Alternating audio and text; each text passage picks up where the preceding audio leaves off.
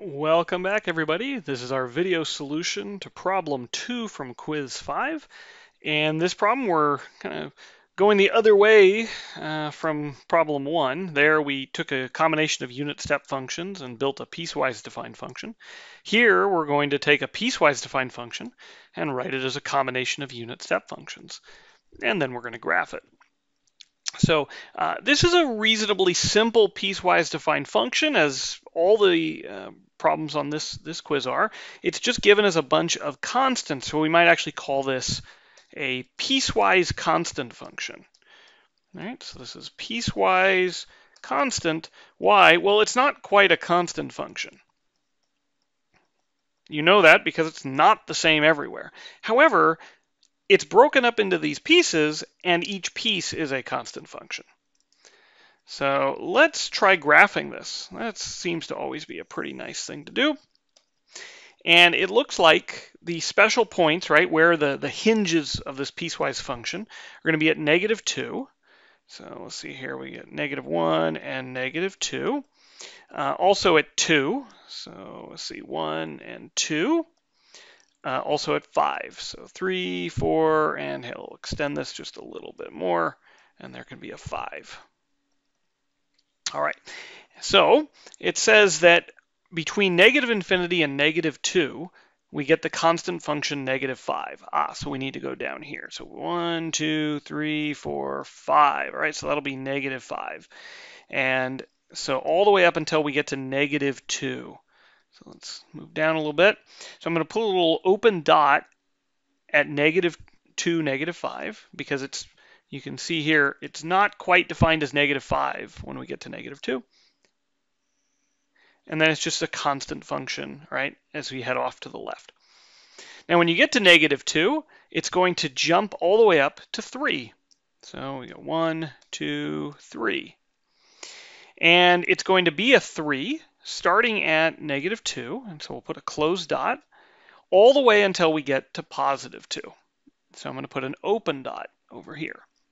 And let's see, we'll just jump that 3 up a little bit, and then we can connect with a straight line, because again, this is a constant function on this interval. All right, then when we get to, uh, oh, that should be a plus, okay, on the exam, that, that, that was a plus, you didn't see that. There we go. So it's going to go from 2 to 5. So let's see, when we get to 2, where does it go? It goes down to negative 2. Ah, so there's negative 2. We're going to jump down. And all the way until we get to 5. Fine. So we'll put a whole hole there, and we connect straight line.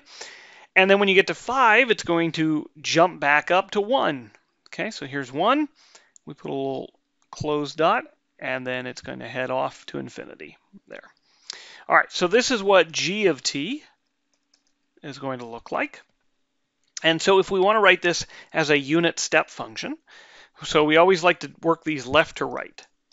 So g of t equals, and we notice it starts at negative 5. So we can actually just put negative 5 here. Right? That's, that's how it's been for all eternity, right? It's been negative 5. But then something happens at negative 2. So what's going to happen? Well, it's going to go up. So let's put a plus, and we're going to have a u negative 2 of t. And what happens at negative 2? Well, it goes from 5 all, or negative 5 all the way up to 3. Right? This was a 3. So that's a difference of 8. So we need to go up by 8. All right, now it's going to stay there until we get to 2. And then it's going to go down. So let me put a minus, and we're going to have a u2. Now, how far is it going to go down? It's going to go down from 3 to negative 2, so that's a drop of 5. All right, it's going to stay there until we get to 5.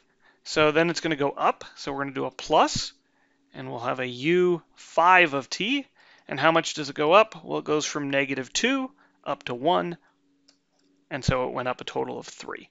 And then it stays there forever and ever and ever. All right, fantastic.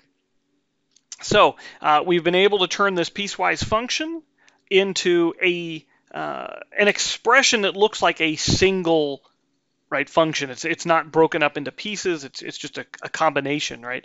A sum of a bunch of functions, um, each of which is defined right over all t instead of just in these restricted domains.